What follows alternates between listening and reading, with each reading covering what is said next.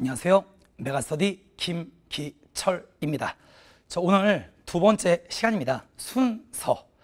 그러니까 노베이스를 위한 문제 접근법이에요. 어, 순서 문제 풀 때 또 많은 학생들이 이제, 해석이 좀 부족한 학생들 같은 경우에 그냥 질에 겁먹고 버리는 문제의 유형 중에 하나에 들어가요. 근데 이 문제가 제가 쉽다고 얘기하는 건 아닌데 맞출 수는 있는 문제예요. 특히나 36번은 무조건 맞출 수 있고요. 37번은 고난도인 건 맞지만 이것도 맞출 수 있거든요. 자, 문제에 접근하는 방식만 알고 있으면 돼요. 자, 뭐냐면 순서를 많이들 이제 오해하시는 것 중에 하나가 아, 무슨 논리력을 물어보는 거다 아니에요. 무슨 논리력이야. 이게 국어 시험이 아니란 말이에요. 국어 시험이라면 진짜 고차원적인 논리력이 필요하겠지만 말 그대로 영어 시험이잖아요. 뭐 극강의 무슨 논리 전개를 원하는 게 아니라 간단합니다. 반드시 순서를 알려주는 장치를 주게 되어 있다는 얘기예요. 자, 예를 들면 여러분들 제가 이제 제 수업 시간에 종종 하던 예시 중에 하나인데 우리말로 한번 해볼게. 그는 열심히 공부했다의 문장이 있다고 칠게. 또 하나가 아, 좀 안정으로 할게요. 그는 시험에 떨어졌다가 있다 쳐볼게요. 다시 한번. 그는 열심히 공부했다. 그 다음에 하나가 더 시험에 떨어졌다가 있어. 두 문장 중에 어느 문장이 먼저 나와야 되니? 자, 됐어요. 저 기존생들은 알죠? 답 없습니다. 뭐냐면 연결어가 가운데 뭐가 들어가는지에 따라서 순서가 바뀔 수 있는 거야. 자, 예를 들면 이런 거야. 그래서라는 연결어가 만약에 나왔다고 한다면 꼭 이러한 순서로 돼야지 말이 돼요. 그는 시험에 떨어졌다. 그래서 그는 열심히 공부했다. 이렇게 말이 되는 거예요. 근데 만약에 연결어가 그러나였어. 그러나가 들어가는 말이면 어떻게 나와야 돼? 그는 열심히 공부했다가 먼저 나와야 돼요. 그는 열심히 공부했다. 그러나 시험에 떨어졌다가 나와야 한단 말이에요. 자, 뭐냐면 순서라고 하는 건 위치를 알려주는 장치를 꼭 주게 되어 있고요. 자, 다원하는데 어, 제가 솔직히 15년, 20년 전은 모르겠어요. 10년 동안의 기출문제 풀이는 다 했기 때문에 10년 동안 있던 문제 중에서 지시어, 연결어, 대명사라고 하는 장치를 않은 문제는 존재하지 않습니다. 그렇지 않으면 아, 답이 두 개, 세 개가 나올 수가 있거든요. 자, 그러면 이제 설명 좀 해드릴게요. 무조건 문제 풀이할 때 이게 목숨 걸고 표시할 내용이에요. 지시어가 나오면 무조건 세모를 치셔야 돼요. 지시어가 뭐냐면 이런 거야. this, 뭐 that, 뭐 such 그와 같이 이런 것들을 지시어라고 하거든. 우리 생적으로 생각해보자. this book 이 책은 다시 this book 이 책이 나왔으면 이글 앞에 뭐가 나왔어야 되게? 책이 반드시 있었어야 돼요. 그러니까 여태까지 책이 한 번도 나온 적 없는데 갑자기 this book이 나올 수는 없는 거야.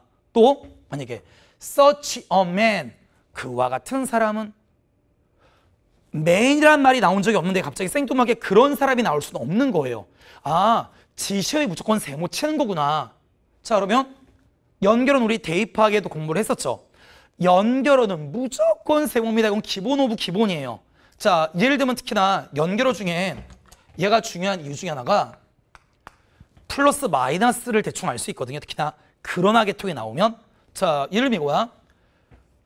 박스 다음에 만약에 이렇게 나와서 칠게. B야. B가 하지만 최근 연구에 의하면 하지만 최근 연구에 의하면 아, 깻잎이 다이어트에 안 좋을 때도 있습니다. 하지만 최근 연구에 따르면 깻잎이 자 다이어트에 안 좋을 때도 있대. 그럼 이글 위에 뭐 나왔어야 되게? 깻잎이 다이어트에 좋다는 말이 나왔어야 돼요. 그러니까 긍정, 부정의 플러스 마이너스가 반대 방향으로 움직이거든요. 무조건 세모를 쳐야 됩니다. 또 대명사예요. 예를 들면 they, 그들은 말했다. 그럼 이 글 앞에는 두 사람 이상의 사람이 꼭 나왔어야 됩니다. 근데 한 번도 나온 적 없는데 they가 나올 수 없는 거고요. 또 she, 그녀는 반드시 명사로 여자명이 나왔어야 되는 거야. 그러니까 지시 연결 대명사라고 해서 위치를 알려주는 장치를 놓치는 순간에 문제 그냥 못 푸는 건데 거꾸로 지시 연결 대명사를 습관적으로 세물 치면 답이 그냥 보여요. 아 이거 이거구나. 자 두 번째 가능하면 긍정인지 부정인지 써라. 특히나 연결어 계통이 그러나나 뭐 그러 뭐, 뭐 게다가 이런 거 나오면 플러스 마이너스 쓰는 게 도움 되거든요. 그 다음에 실전 문제 풀이에서는 박스 뒤에 저는 항상 학생들한테 B, C, A 순서로 읽으라고 추천을 하거든요. 이유가 있어요. 지난 10년 동안의 6구 수능에 박스 다음에 A가 답인 적이 두 번 있습니다. 어, 없다는 건 아니에요. 두 번 있어요. 박스 다음에 A가 답인 적은 있지만 확률적으로 A가 아닌 적이 너무 많기 때문에 저는 그 확률로 습관적으로 저는 B, C, A를 순서대로 읽으라고 얘기를 하고요. 자 그러면 똑같아요.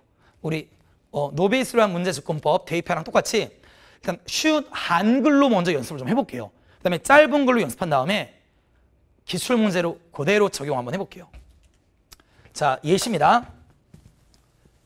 자 그냥 쭉 썼는데 제가 답의 근거를 보여드리고 싶어서 노란색으로 표시를 좀 해드렸어요. 자 이게 결정적 영향을 미치거든요. 아 물론 박스 먼저 읽고 봐야 되는데 자 제가 표시 좀 해드리면 그들은 어 이거 대명사예요. 두 사람 이상의 사람이 있어야 되고요. 그의 고, 그럼 누구게 한 남자 이상이 나왔어야 돼요.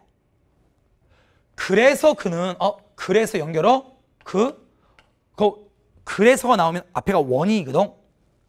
원인 결과이 그리고 그리고 그때 그리고 나서 어떤 일이 발생했다는 얘기야. 자 한번 봐볼게.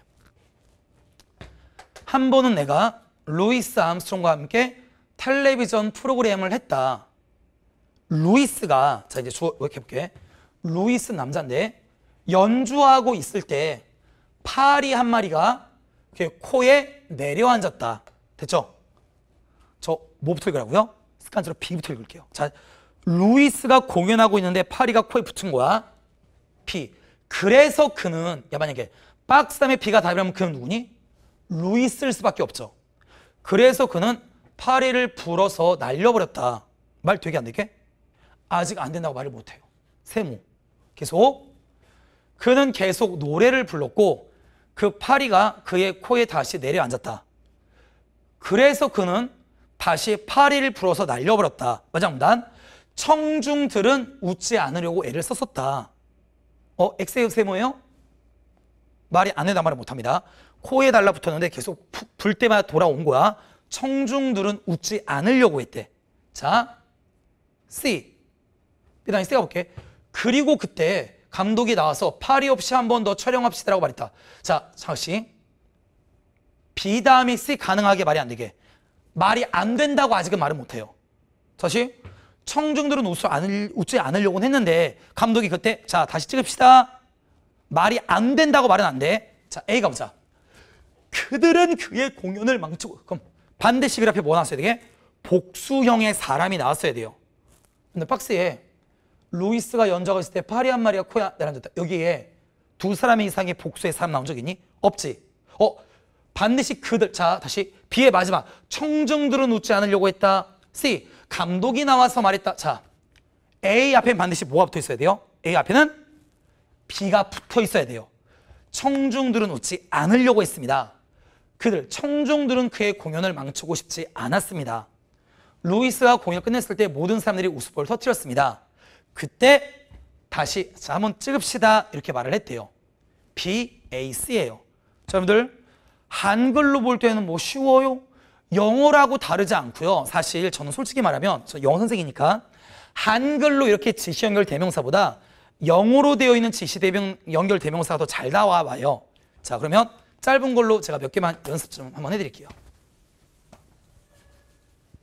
제가 아, 물론 박스부터 읽고 B, A, C로 읽는 건 맞는데 미리 표시 해 드릴게.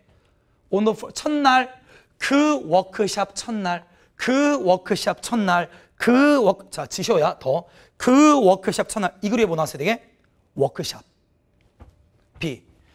after having spent that 떼떼떼떼 지셔 그날 밤을 어디서 보내 그날 밤을 이 앞에 뭐 나왔어야 돼? 어떤 날인지 나왔어야 될 거 아니야 C 한 공연에서 됐습니다. 자, 요거밖에 일단 힌트는 안 잡고 이제 본문 들어가 볼게요.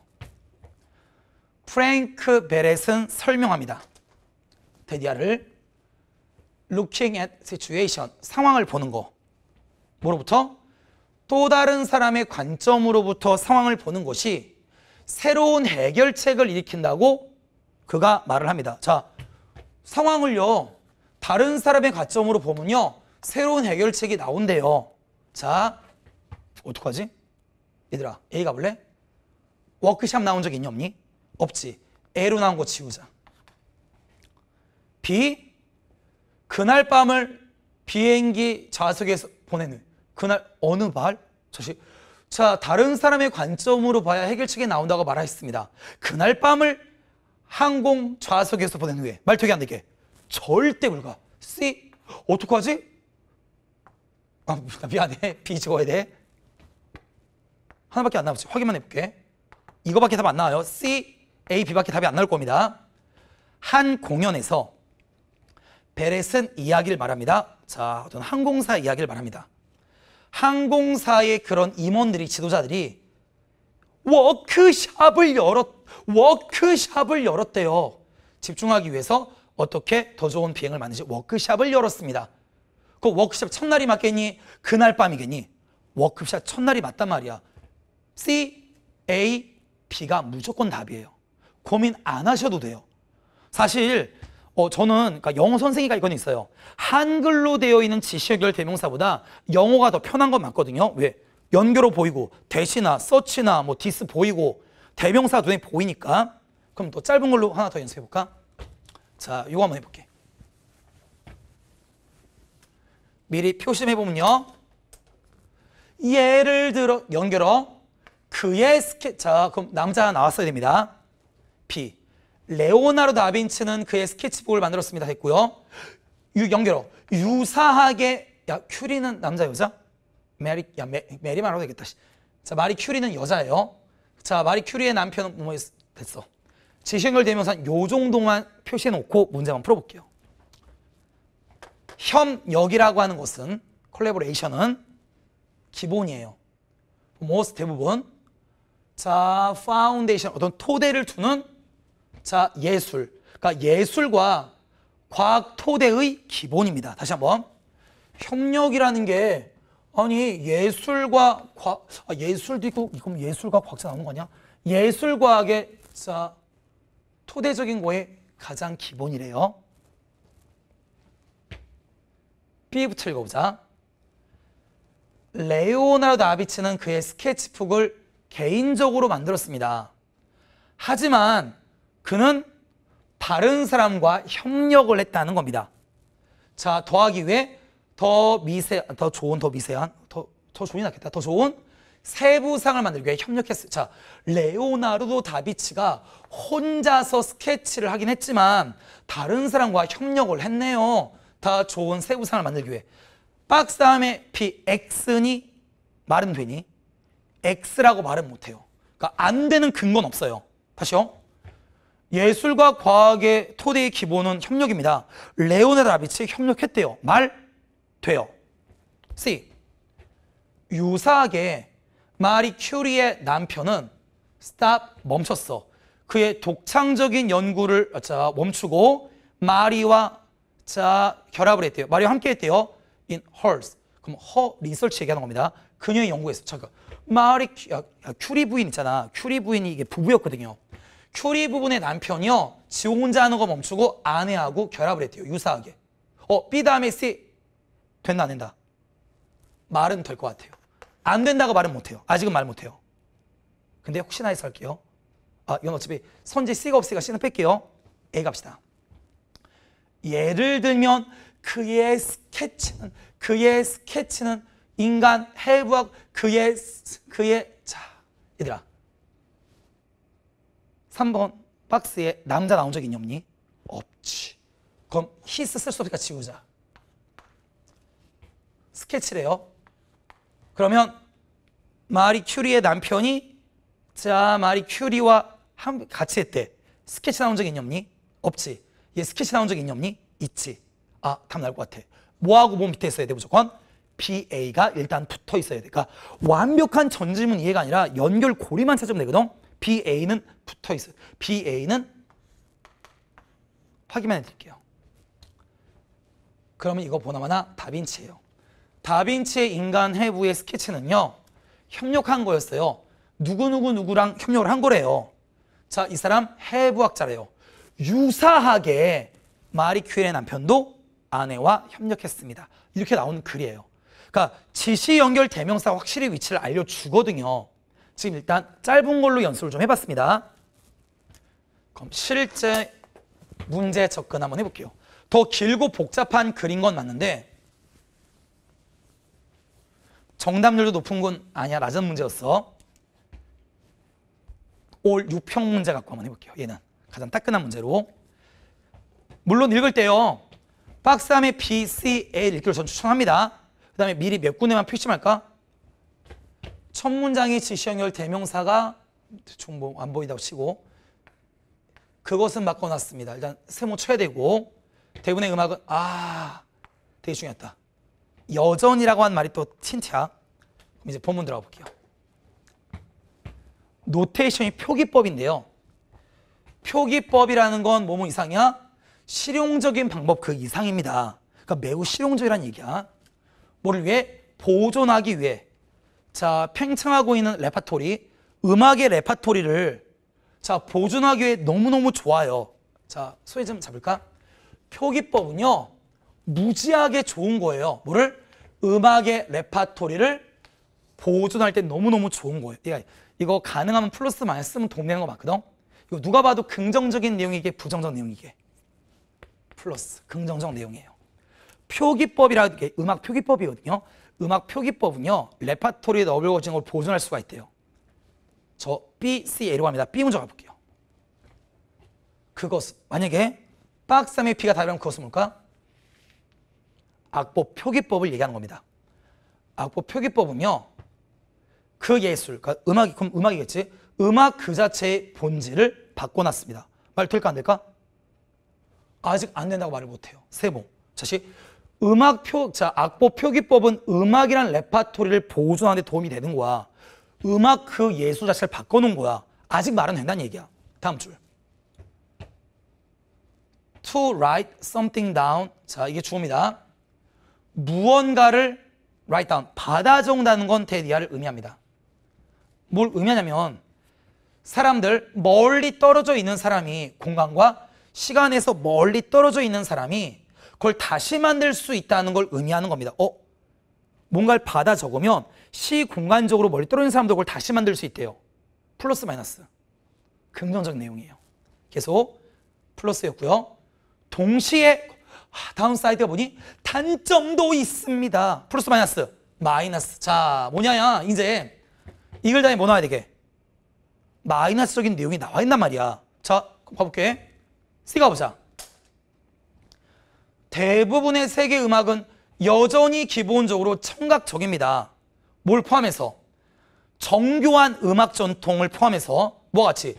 인도와 이거 발리의 형용사고요. 인도와 발리처럼 정교한 음악을 포함한 게 다 청각이더라. 대부분의 세계 음악이 청각적입니다. 여전히 청각적이 다시 여전히 청각적이에요. 정교한 것까지도 여전히 청각 음악이 청각적이래. 혹시 너희들 마이너스로 보이니? 내 눈엔 절대 마이너스는 아니다.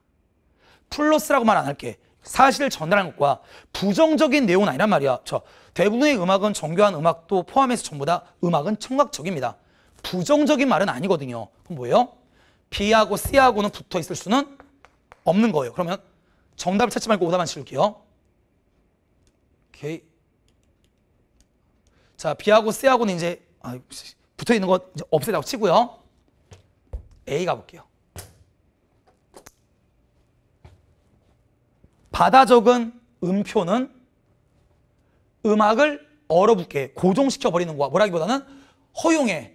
그것이 발전되게끔 개인의 손에 발전되게끔 한 다음에 권, 자, 권장하, 아, 다시, 다시 미안해. 그것이 개인의 손에 발전되게끔 한다기보다는 쓰여진 악보라는 건 음악을 그냥 고정시켜 버리는 겁니다. 그리고 자 쓰여진 악보 그것은요 못하게 해요. 즉흥영주를 못하게 한다는 겁니다. 얘들아 음악이 고정되니까 개인적으로 할 수가 없고요. 음악이 즉흥연주를 못하게 만들어 버린대요. 플러스예요, 마이너스예요? 마이너스. 어떡하죠? 답 나온 것 같은데요. 뭐랑 뭐는 붙어 있어야 되게? B, A가 붙어 있어야 될 거야. 확인차 계속 읽을게. 부분적으로는 왜냐하면 표기법 때문에 현대 클래식 공연은요 부족해요. 현대 클래식 공연은 뭐가 없냐면 깊이감이 없대요. 그 뉘앙스, 미묘한 차이의 깊이감이 없습니다. 요즘 음악 마이너스예요. 부분인 청각적인 전통인 그런 뉘앙스 같은 게 없다는 거예요. 표기법이 도달하기 전에 이 모든 음악 자 다시요. 표기법이 있기 도달하기 전에는요. 어디에서 모든 역사에서 음악은 주로 청각적이었다는 겁니다. 아 대부분의 세계 음악 여전히 청각적이라는 거지요. 이렇게 나와야 돼요. 그럼 뭐요? B, A, C가 답이고 그때 답이 2번이었어요. 자 뭐냐면 여러분 이게 6평 문제였는데 실전 문제로 푸나 아까 제가 짧은 걸로 한글로도 먼저 설명드렸잖아. 풀이 방식은 같단 말이야. 순서라고 하는 문제는 지시어, 연결어, 대명사 가능하면 플러스 마이너스를 쓰면서 읽으면 눈의 구조가 보이기 시작합니다. 그러니까 막연하게 이건 논리력을 위한 그 논리 없어요. 그러니까 영어 문제는 국어 문제가 아닙니다. 고차원적인 노력을 원하는 게 아니라 세모 치고 읽으면 답이 보이는 문제들이에요. 그래서 오늘 우리 순서 문제까지 했고요. 다음 시간에는 또 다른 내용으로 만나 뵙도록 하겠습니다. 감사합니다.